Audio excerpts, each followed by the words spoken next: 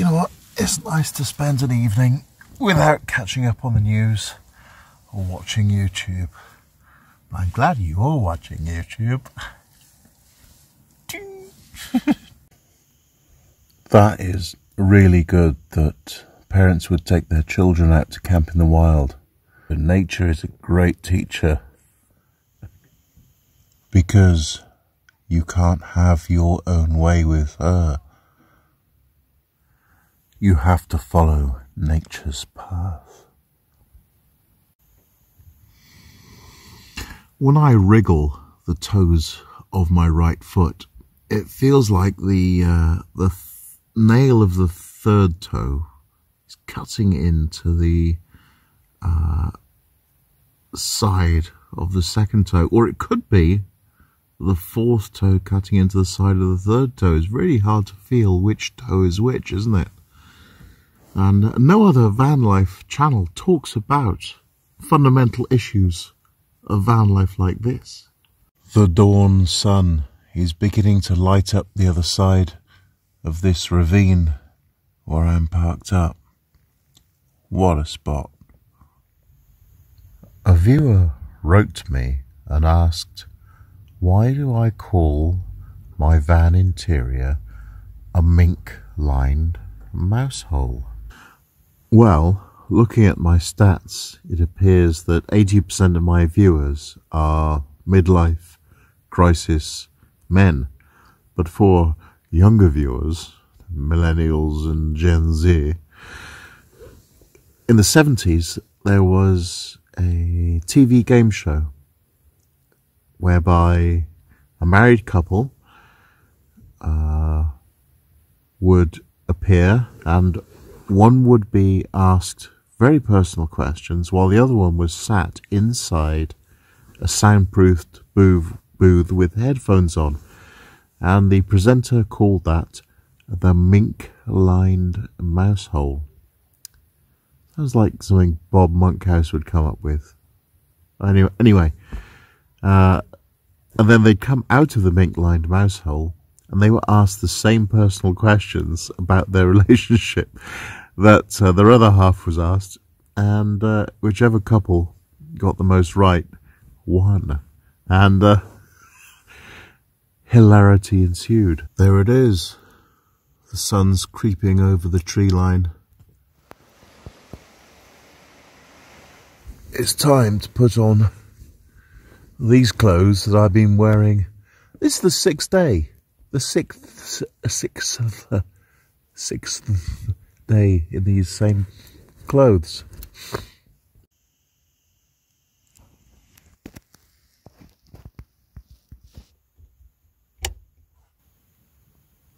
How did that wasp creep into my purple cellophane? I mean, it couldn't have been dead to get there. It must have crawled in there and died. But why didn't I spot it while renewing the film? Yeah.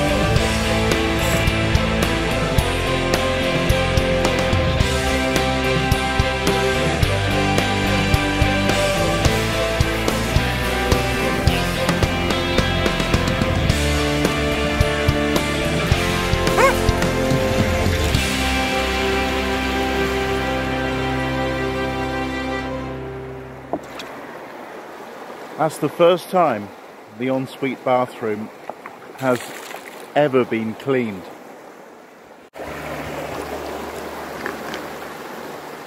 Mm. Oh, it's completely fresh water and way above the contours of the sheep farmers. Socks with sandals to the diary room. Oh, uh, yeah, hello diary room. Uh, yeah, I've been in the same clothes uh, six days now Uh, oh, I can smell myself, and I, I don't like it. I really want to just jump in a mountain stream and uh, sort it out, you know. you know what I mean? But that's all after. A can of tuna. And they were eight cans for six pounds in Aldi. Now here's a top survival tip. If you've just opened a can and you've pushed it all the way in and uh, you can't pick it out from where it is, you just push, you find out where the hinge is, which is here, go around 90 degrees and push. You'll find that the other end will, yeah, enough to open. You're welcome, YouTube. Mmm, mmm, protein. Mmm. Bees got into my car. Oh, not in there. No. I have to scare them out without getting, without getting hurt. Go on. How'd you get? Okay. He's gone. Yeah, gone but not forgotten. He's still determined. Oh no, one of my flags has fallen off into the mud. It's just non-stop adventure and excitement out here in the middle of nowhere. Why does anyone even have a TV? Uh, and that's no offence to Brett, of course, who single-handedly, just with one fell sentence, doubled my entire traffic. I'm now up to like 500 views per video. Ooh, that, I mean, that's viral by my standards. It would be great if this grommet fit in that hole the bee tried to get into.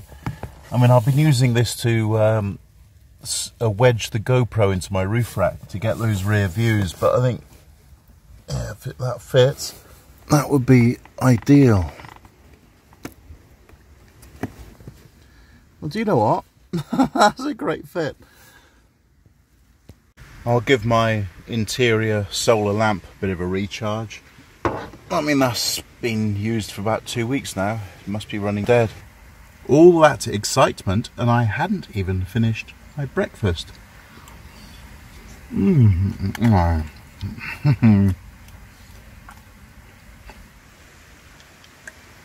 and another top tip if you're just beginning the world of vlogging and editing for whatever adventure you're on, use different camera angles and that keeps people's interest. You can't really laugh because that was me just three months ago. I wonder what that's for.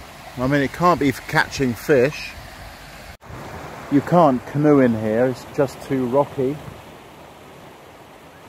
Can't stop a flash flood or a rock fall. I don't know what he's up to there. Yep, I got it. It's the property boundary of uh, the house up the road there. So uh, children often like to walk up and down the river, don't they? Just to stop them doing it.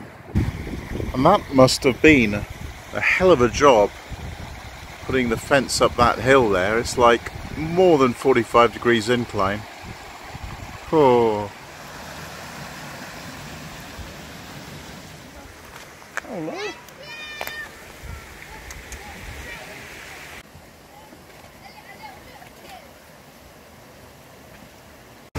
Well, this has turned into a right Piccadilly Circus.